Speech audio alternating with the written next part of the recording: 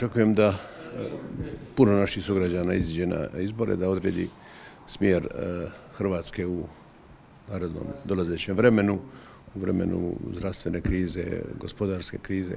Ono što je najvažnije je da naši sugrađani se odazovu na ove izbore, da izađu u što većem broju. Nikad e, nije bilo važnije, ja bih rekao čak od domovinskog rata do danas, da što veći broj građana izađe i da potvrdi legitimitet e, one vlade koja nas treba voditi u ovom razdoblju koje će za nas sve skupa biti iznimno e, teško i komplicirano razdoblje.